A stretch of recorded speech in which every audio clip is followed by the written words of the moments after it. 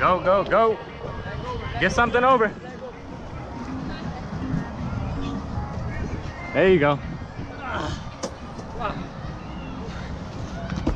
Well done, well done. High five.